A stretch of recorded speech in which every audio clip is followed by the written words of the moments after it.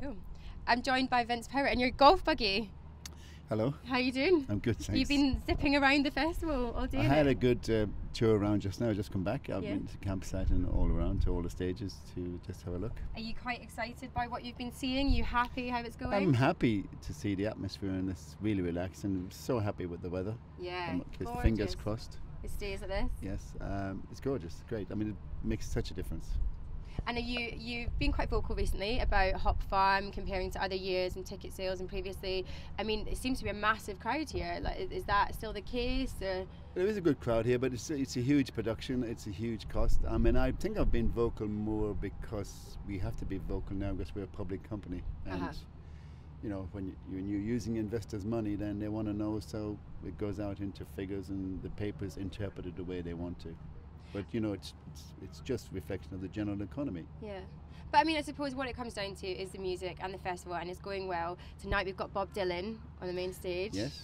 Uh, how I'm always intrigued. How how does that happen? How does someone get Bob Dylan to have a UK exclusive at their festival? Is it a lot of kind of I would say over the, I think over the years, uh, way back in the Mean Fiddler days and um, Reading, Leeds, and Glastonbury, which I used to be involved in, it's just a relationship that's happened, and uh, obviously we pay good money. You know, money is always a big, uh, a big factor with artists, Yeah. um, and I think he likes the uh, the style of this festival, Yeah. and like he used to like the style of the f- when I used to do the Fleadh. I've probably put him on 20 times now. 20 times? Yeah. Nice. Because he was here two years ago, That's right. and we're hoping. Do you think he was going to do a bit of a different set to two years ago? Hopefully, uh, there's rumours that uh, people are going to get up with him today. Uh, Really? Yeah, Do we know who?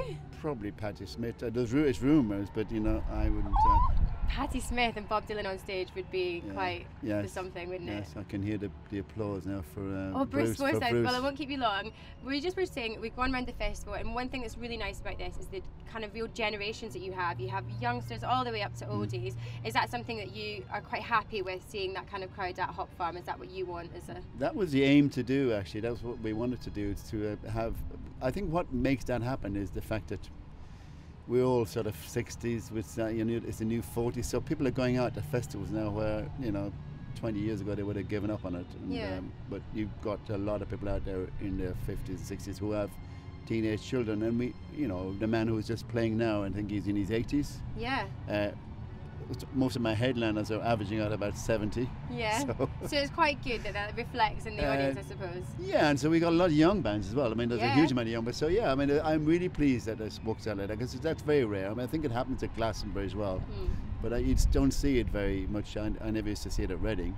At Reading, if you're over 21, you shouldn't be there. Thanks. I, I usually go, but I'll, I'll take Yeah, note but of you've that. got a job. You work. I always said if you're over 21, you're usually in the guest on the guest area. Yeah. Um, so, just in one word, how would you describe Hop Farm? Uh, It's a very personal kind of place. It's um, uh, people love it, you know, and it- you know, obviously not everybody loves it, but pe- people like it. There's a loyalty here. It's a, it's a kind of genuine. And it's, I would describe it as a place of being about the music really, and, and Yeah. not about the um, all the extraordinary structures that we have in the, that you Mm. see at other festivals, which are amazing, but don't ha- for me doesn't don't have much depth because we're doing it for the music and people are coming here for the music. Music. We can hear Bruce Forsyth. I'll let you go and enjoy him. Thank, Thank you you. so much for speaking to us. Thanks. Thank you.